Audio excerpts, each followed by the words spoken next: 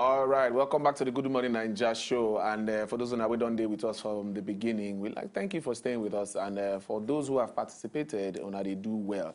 We just finished uh, one better interview with one better person based on all the uh, new levels where the world don't decide to take in a new turn due to the coronavirus pandemic. We can't think of how we could take, you know, um, look into Nigeria and see the way we go fit uh, support and grow uh, the Nigerian economy by purchasing things from Nigeria. So we move on to another conversation we get with uh, Dr. Omopeju uh, Afanu. She's uh, a hospitality person. For those now we know what hospitality be, people they involved in uh, hotel things, you know, keeping people, you know, relaxed and stuff like that. So we're going to be having a conversation based on say the pandemic has happened and we would like to know how the industry is coping. Welcome to the show, madam.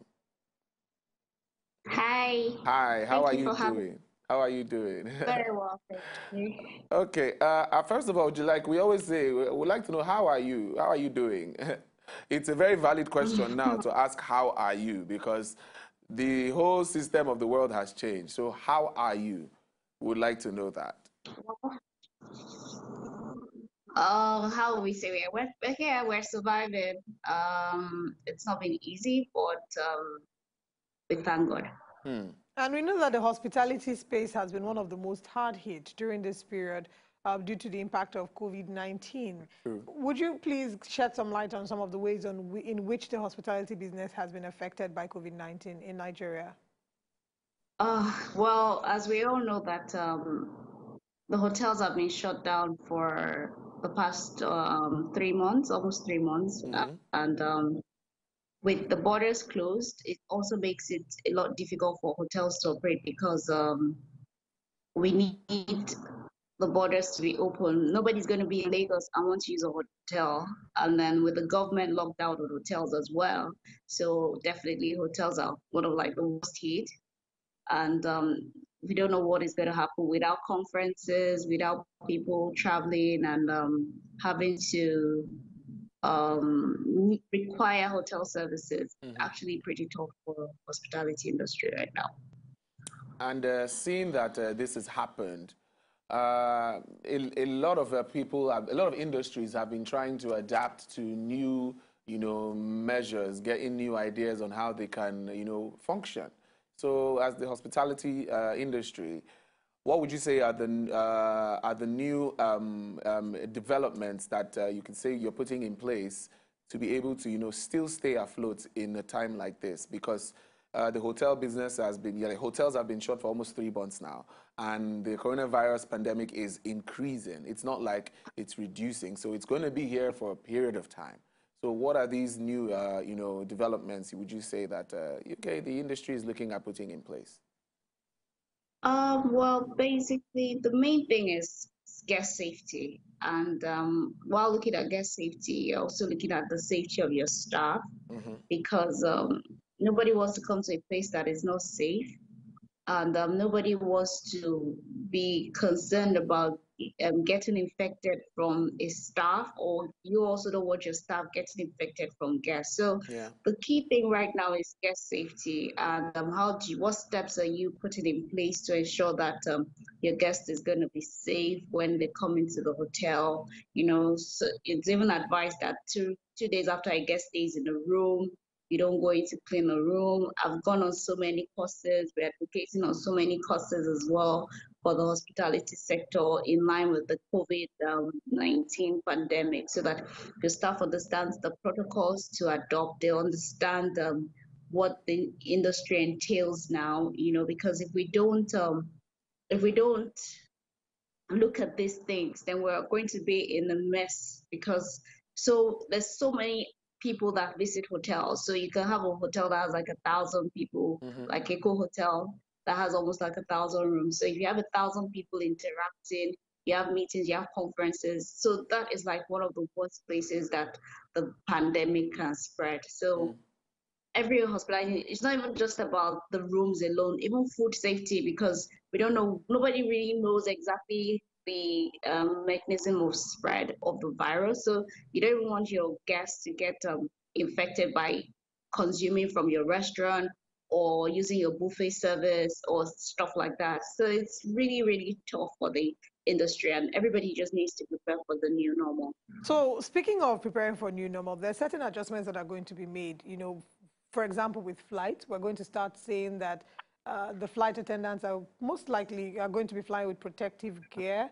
We're going to see that most uh, we foresee that even in economy or sorry, yeah, economy there'll no longer be three seats. We've foreseen that to maintain social distancing, there'd be a reduced number of passengers that a particular airplane can carry at a particular time.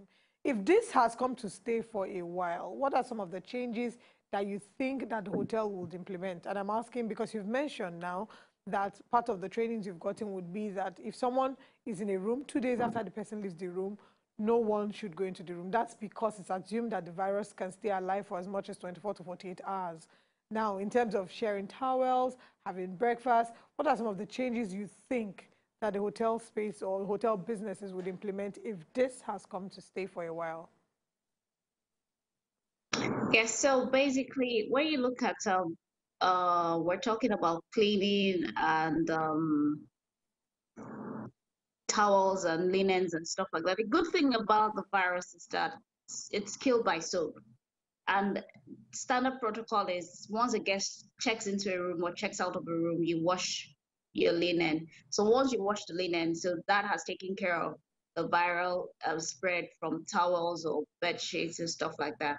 But the main thing is now the surfaces. So a lot of people are moving away from handheld menu, having um, your room service menu in printed form. So people are looking at how to make this more um, technology oriented. So you hardly have things, surfaces that you're touching to reduce the level of exposure mm. while still incorporating better hygiene um, techniques, you know, ensuring that all surfaces are properly wiped, sanitized after a guest checks in or checks out, you know, just to ensure that it's safe, not just just basically not safe for everybody because it's not just about safety of your um what do you call it of your guest, but also of your staff. So that's one of the reasons why two days is always advised before even anybody goes in, because uh, the virus is still active.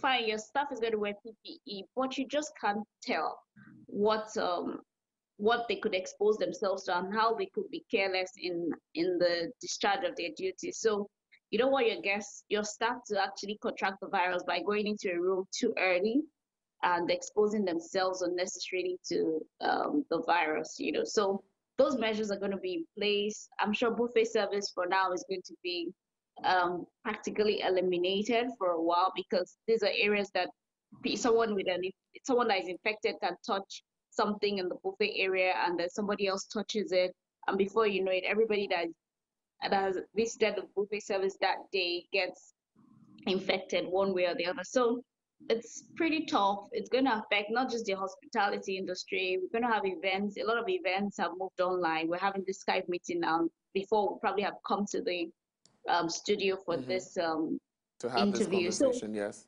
Yes. So this this this this is going to change the way life as we know it. So many things is going to change.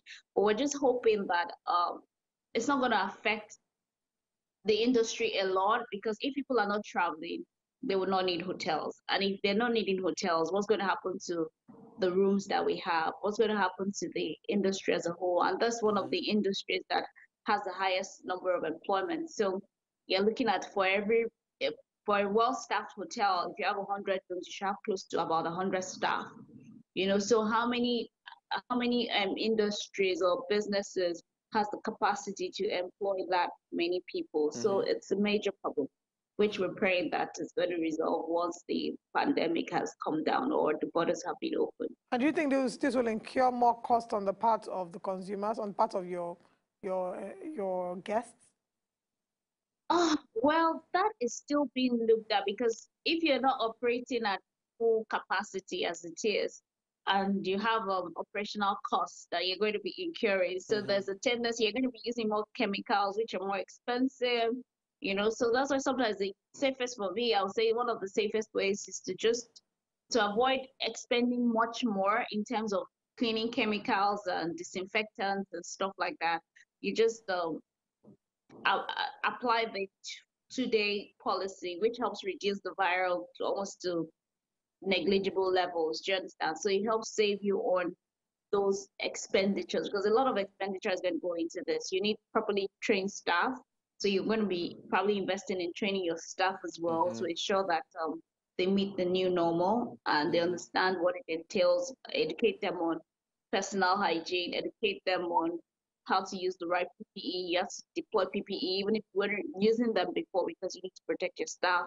They need to ensure that guests understand how to wash their hands. So you're going to be spending a lot more on soap, washing your hands, because you're going to be washing your hands all the time. So it's it's pretty tough. But when you're just reopening, you don't want to take yourself out of the market. So it's going to be tough for people to actually say, "Oh, we're going to increase the cost of our rooms," because right now there's there's going to be a lot of supply and then demand is going to be low. So everybody's going to be competing for the same market. So what is going to stand you out is either your service or your pricing. And it all depends on what people are actually looking at with the economic downturn. I'm sure a lot of people are going to be looking at, they're going to looking at not just how much you're going to spend, but how safe are they going to be when they visit your facility. Mm. So those are two key factors that you want to consider. So it's not even about the ambience anymore. It's about what level of safety, safety can you offer you to your guests and mm.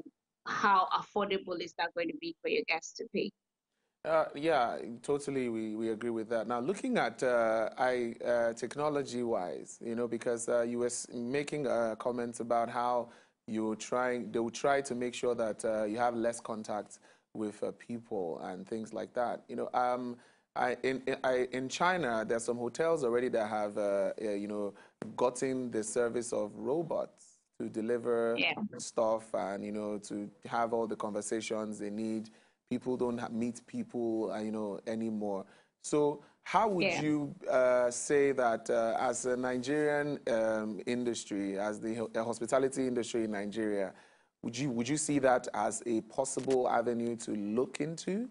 Uh, you guys, you know, is it something that is okay in a, in a, in a few time we can probably look at this uh, these measures and use that so that you can get the trust of your consumer to let them know that okay, we're not going to have contact with you when you come in.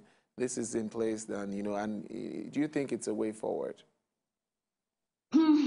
Well, I I wouldn't. It, it, it looks like it's supposed to be a way forward, but when you look at the economic impact of it, yeah, on your employment um, pool it's going to be devastated. So while whilst the hospitality industry is like a, there's this level of human touch that you still need.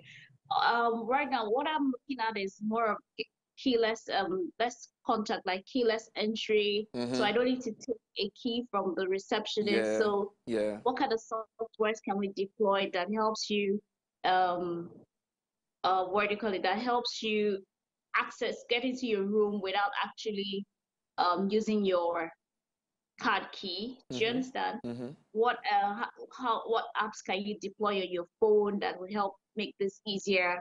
Uh, how do you make payments without having to actually give your ATM card yeah. or having or use cash? Yeah, advocated, but taking the human touch out of it is almost like so impersonal, which is not really what the hospitality industry is about. It's about the human touch. It's about um, that that that level of um, interaction. So mm-hmm. it's just going to be how do you make that happen while still maintaining certain levels of safety for your guests and for your staff.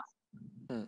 Okay, um, before we let you go, let us know, you know, how exactly what words of advice, encouragement. You've shared some very helpful angles and perspectives to look at this from. But for hoteliers, you know, those in the hotel business, those looking to go into the hotel business, right now, I'm sure that a lot of people who are looking to go into the hotel business are having second thoughts. But those already in the business who feel trapped, you, this is what you do. You're an expert at this. What words of encouragement do you give to them? So what I'll say to anybody out there is that um, the key thing you need to look at is the safety of your guests and the safety of your staff. And um, you need, need to do whatever it is to ensure that your guests are safe. If you have to train your staff, you need to train us. It's not even if, you must train your staff mm. to understand the new normal. And right now, I would not even advise anybody to go into this space for now. At least let them look at next six months and see what happens because nobody knows what is going to happen. Nobody knows when the borders are going to be open and when it opens, how what's going to be the traffic of um, guests or visitors mm-hmm. coming into the country, into the state. So it's it's something that everybody just needs to hope and pray that um, the best is going to happen, that we're going to go back to the highs that we were in 2019. A lot of organizations have cut down on marketing. That they, they, they don't even have a marketing budget for, not just in Nigeria. They don't have a marketing budget right now for hospitality industry because there's nobody you're marketing to. So mm-hmm. just keep your costs down. Look at how well how you can implement um, services that would ensure safety of everybody, and just pray for the best. Hmm. All right. Great. Great stuff. Uh, thank you for this uh, conversation. And we're hoping that, uh, like I said, we are all hoping that uh, the coronavirus uh, pandemic doesn't stay too long so that a lot of businesses and industries can uh, reopen and get back into building the economy. Thank you very much for this conversation and all the, the advice you've put through for people who are looking to probably venture into the business or the ones who are there and feel trapped you know, but uh, mm-hmm. thank you very much for yeah. this conversation. Thank, thank you, Dr. Omopeju Afanu, the founder My of Cooperative Hospitality. Mm-hmm. And that is where we wrap up the conversation for now. Yes, yes. To enjoy more of these our Ogbonge videos when you just watch, press this button to subscribe on top of our YouTube page. You go love ham. To enjoy more of these our Ogbonge videos when you just watch, press this button to subscribe on top of our YouTube page you go love am